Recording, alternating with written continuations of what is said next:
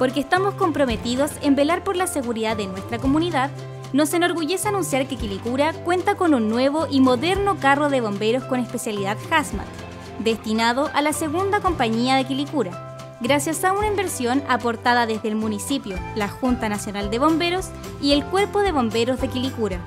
Este nuevo carro brindará mayor cobertura ante las emergencias que se presenten en nuestra comuna y en toda la zona norte, ya que tiene especialidad para enfrentar incendios de materiales peligrosos y control para emanaciones de gases en domicilios e industrias.